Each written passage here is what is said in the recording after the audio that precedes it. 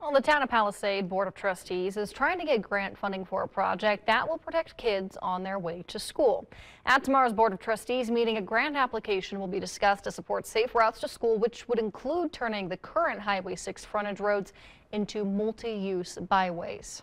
This was four lanes of highway where kids had to run across the interstate to get across. These landscaping do act as pedestrian safety islands, buffers. So you have the little zigzag in them that keeps cars from driving through them. Um, but now, now our kids only have to cross one lane. They can stop, make sure the traffic's safe. There's also flashing lights to help trigger cars to stop for our pedestrian crosswalks. Now, the main reason behind the changes is to improve the safety of people crossing Highway 6 with the landscaping and beautification being a first step.